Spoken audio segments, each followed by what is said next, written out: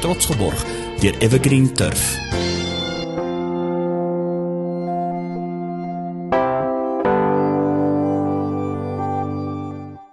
Goeiedag en baie welkom by ons oggendoordenkings tyd saam. Dankie dat jy saam met ons tyd spandeer. Dit is lekker soos altyd om saam met jou hier te kan wees en ek sien uit vir hierdie journey saam met jou deur hierdie week en hierdie week se tema is evangelisasie begin by 1. Evangelisasie begin by 1 en daai een is ek maar dit begin ook by een persoon na wie ek uitreik. En hierdie week gaan ons bietjie delf en kyk wat sê die Here vir ons? Wat sê Christus vir ons? Hoe lyk evangelisasie? Hoe belangrik is dit? En meer as dit hoe moet ek en jy dit aanwend en hoe bereik ons mense om God se koninkryk so ook te bou? So kom ons duik lekker in. Vandag sin in en dit is daar in 1 Petrus 3 vers 15 sê inteendeel erken in julle harte Christus as die een wat seggenskap het. As julle dit doen en iemand vra julle uit oor die hoop wat in julle leef Wees altyd reg om te reageer. As iemand ons uitvra oor die hoop wat in ons leef, moet ons altyd reg wees op te, om hulle om te reageer om vir hulle te kan vertel waar kom hierdie hoop vandaan? Hoe verkry ons hierdie hoop? En partykeer lyk dit snaaks en ons almal ken daai een persoon wat net altyd optimisties is en dit voel die bomme ontplof om om en daai persoon is optimisties en daar's nie water nie en daar's nie krag nie maar hierdie persoon bly optimisties en hulle is eil gesaai maar hulle is daar. En ek weet jy as jy vir hulle gaan vra, hoekom het jy hierdie hoop? Dan sê hulle vir jou iets van hierdie is Christus. Hierdie is die belofte wat ek het. Hierdie is my getuienis. Christus het my nog nooit gelos nie. Hy het my deur alles gedra.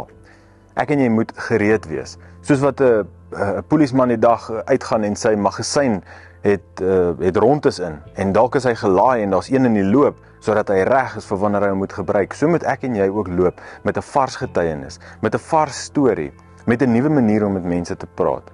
sien ons loop so dikwels onvoorbereid voor. En wanneer ons mense teekom soos ateëste of iemand met moeilike vrae, dan val ons soms oor ons woorde want ons is nie voorbereid nie.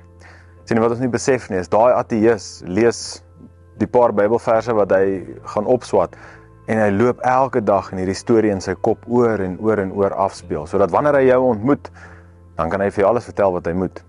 As en ek en jy moet so voorbereid wees. Voorberei om mense lief te hê. Nie net met hulle te redeneer en te stry nie, maar om hulle lief te hê ongeag wat hulle doen. Ek en jy moet voorbereid wees dat wanneer hulle ons voorkeer en sê, "Hoerie, hoekom is jy so hoopvol? Wat gaan aan? Wat doen jy dat jy konstant net so gelukkig is dat jy hierdie vrede het? Hoe verkry ek dit?" En daar lê die antwoord dan. Dan sê ons Christus. Dis my en jou getuienis en sonder dat ons dit dalk agterkom, die manier hoe ons hoopvol is, ons vriendelikheid, die liefde wat ons uitgee, is baie keer daai ding wat mense na Christus toe draai. Mense laat vra, "Hoe kry ek van hierdie wat jy het?" So, mag ek en jy bewyse van spreuke ook gelaai wees, gewapen wees met 'n nuwe storie, met 'n vars getuienis, um, met met woorde van bemoediging wat van Christus afkom. Mag ons ons hoop met die mense deel wat dit nodig het om sodoende meer en meer mense vir Christus en sy koninkryk te wen. Kom ek en jy bid saam daaroor. Vader ons dankie Here en ons loof U en ons sê vir U dankie vir U koninkryk. Here, dankie dat ons kan deel hê aan U koninkryk en meer as dit, dankie ook dat U wil hê elkeen van ons moet in die diens staan. Here, dis ons begeerte hierdie week dat ons in daai plek sal inbeweeg, Here, waar U ons kragtig gebruik, Here, waar U konstant besig is om ons te ontwikkel, Here, om ons te kry op 'n plek waar ons net meer en meer van U praat, vertel, mense na ons toe aantrek, Here. Dankie Here dat U deur die Gees ons ook lei, Here, en mag ons die leefstyl wat ons leef, Here. Mag dit mense hoop gee. Mag mense ook vra waar kry jy hierdie hoop? Here, dankie dat ons Christus met hulle kan deel. Ons dankie daarvoor, Here. Ons eer U in Jesus naam. Amen.